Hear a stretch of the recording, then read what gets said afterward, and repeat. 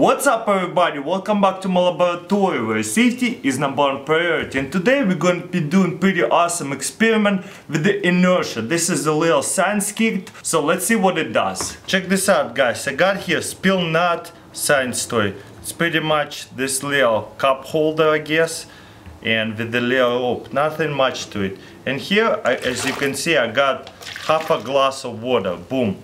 I'm gonna set it right in the middle of it and look, let's see what happens. I'm gonna spin it all the way around and it's not going to spill. Check this out. Whoa, it actually spilled a little bit. Ah! I messed up. But yeah, it's not supposed to spill. I failed a little bit because I wasn't spinning fast enough, so that's what happened.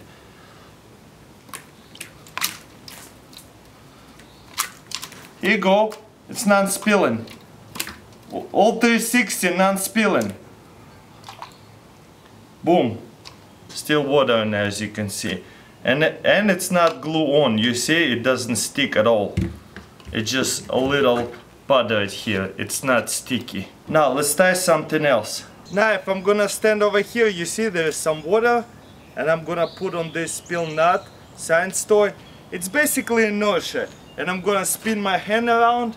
Let's see what happens. Boom, yeah! Look at this. Water still in there and I did not spill any. And I did full 360. How cool is that?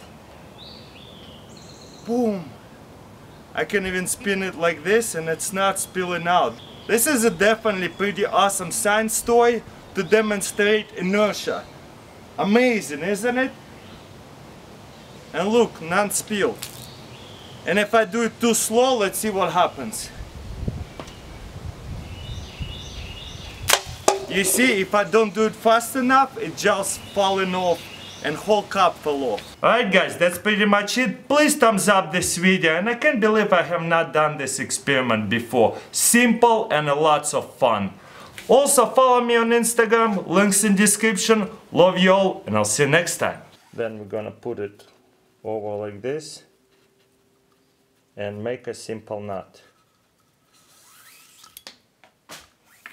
You see